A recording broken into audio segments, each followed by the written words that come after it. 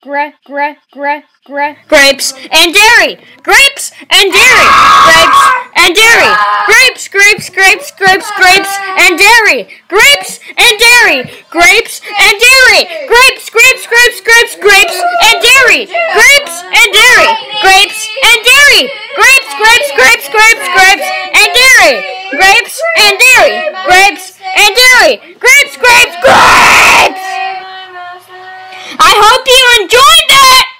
Like this video!